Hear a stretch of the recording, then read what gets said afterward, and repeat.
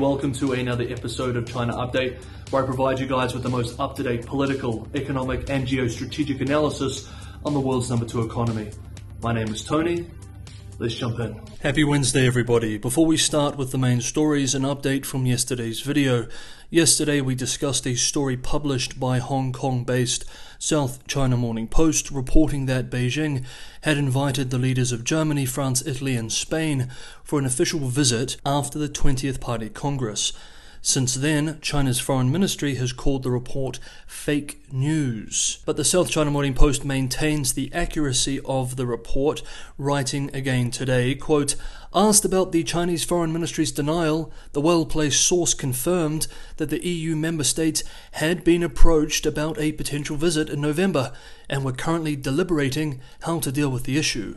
End quote. We should note, while we're speaking of the South China Morning Post, that the outlet is owned by Jack Ma's Alibaba Group. Now, let's move into the main stories, and let's start with the big news in US China relations from the last 24 hours. US Speaker of the House of Representatives Nancy Pelosi plans to visit Taiwan next month in a show of support for Taipei, to use the words of some US media outlets. We remember that the 82 year old Democrat cancelled her visit in April, citing COVID. Now it's being reported that she plans on taking a delegation to Taiwan in August. The delegation will also visit Japan, Singapore, Indonesia, and Malaysia, according to reports. If the trip goes ahead, then it will be one of the highest level visits from a sitting US lawmaker in decades, likely provoking a strong reaction from Beijing. Indeed, in April, China's Foreign Minister Wang Yi expressed that a Pelosi visit would represent a quote malicious provocation. End quote. Some US based China analysts are warning that the trip could spark more than just a rhetorical response from Beijing, too, with Washington based veteran China analyst Bill Bishop discussing a possible August Taiwan crisis today. Quote, we can expect lots of angry statements between now and her possible trip, but I would not underestimate the risk of seeing a response that goes beyond rhetoric from the PRC side, as Xi and others really do seem to be getting really angry about what they see as US salami slicing of its one China policy. Something I think has been reflected in what to me sound like increasingly shrill warnings about Taiwan over the last few months. I am not sure we fully appreciate what a 2022 version of a Taiwan Straits crisis would look like, or how markets, investors, and business might react. But I expect a strong PRC reaction to a Taiwan trip would add more pressure to increased hedging around, if not decoupling, from the PRC. End quote. And, quote, China has become convinced that Congress and the executive branch are colluding to contain its rise. Since Speaker Pelosi is a Democrat and from the same party as President Biden, her trip is interpreted as part of a strategy of using Taiwan as a card against China and providing official support for Taiwan independence. The original story of the trip was broken by UK based Japanese owned Financial Times, which writes today that three people familiar with the situation said the White House had expressed concern about the trip aware that the timing is sensitive for China because it will come in the same month as the August 1st anniversary of the founding of the People's Liberation Army. And of course, the party will hold its 20th Congress later this year.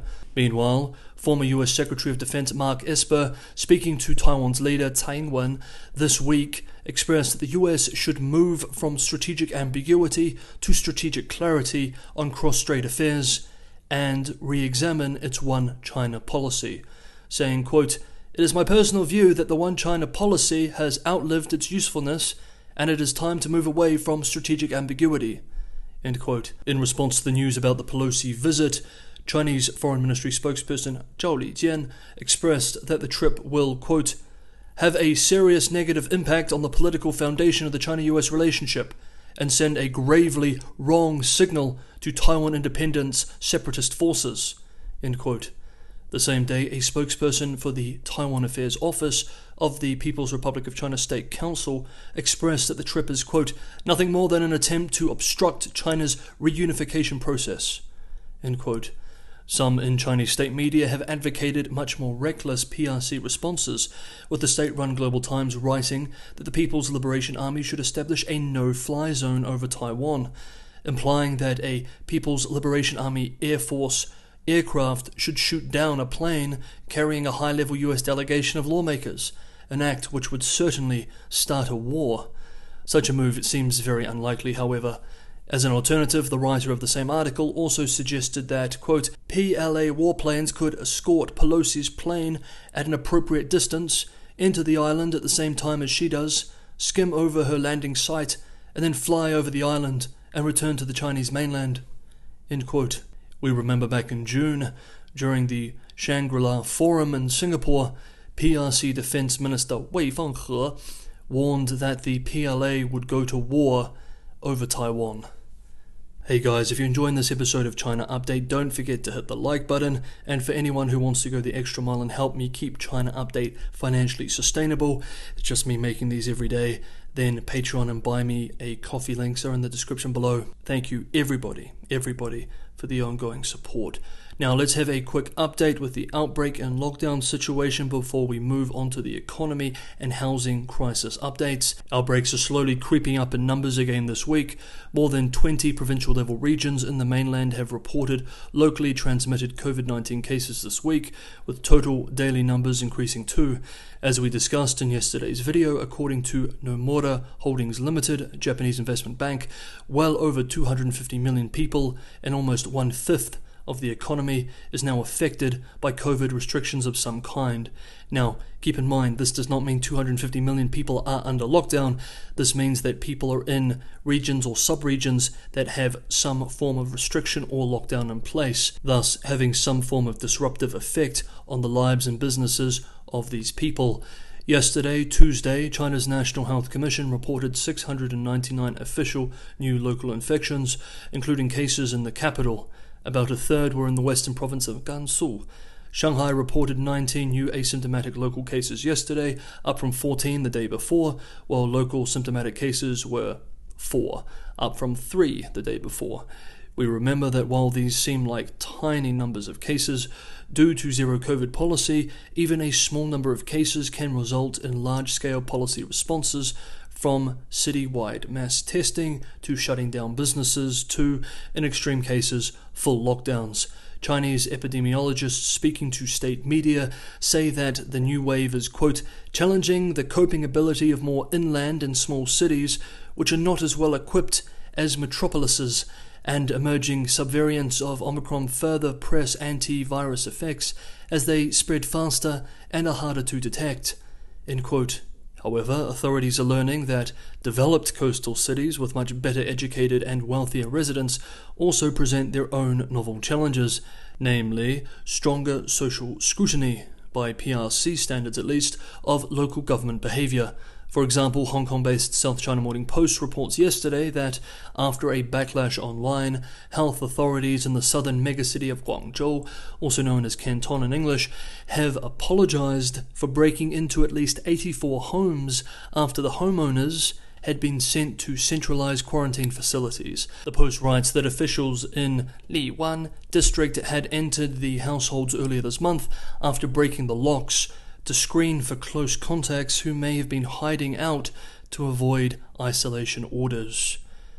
And last up, the mortgage boycott situation continues to develop this week, though analysts continue to debate just how significant we should be treating it, with some pointing out that there is a real risk of contagion spreading to the banking system and thus sparking a full blown financial crisis, while others argue that while this risk does exist, the number of mortgages are still too few and Beijing still has financial and political tools in the toolbox which it can employ. Local regulators are now following the central government's lead, rushing to deal with the crisis in an ambulance at the bottom of the cliff move. A number of cities this week have moved to tighten regulation over pre sale funds to protect the interests of homebuyers, including measures for pre sale funds to be managed in escrow accounts. We remember, however, several months ago, dozens of local governments opened up access to pre sale funds in order to ease liquidity pressures on developers. Now, these mortgage boycotts very much remind us of the systemic nature of a crisis at the scale in which the Evergrande or housing crisis currently is. Any industry representing 20 to 30% of the economic activity of a country is, of course, going to be deeply integrated with most other industries with the rest of the economy. Cash strapped developers cannot finish apartments, so households are refusing to pay their mortgage payments, putting pressure on banks already challenged on the developer side, concerned that at risk developers will not be able to pay their bank loans back too. The hit to housing sales has resulted in a drop in demand for land, smashing local government revenue. Bond defaults have badly damaged investor confidence in not just the industry, but other over-leveraged industries too, making financing more expensive, and so on and so on.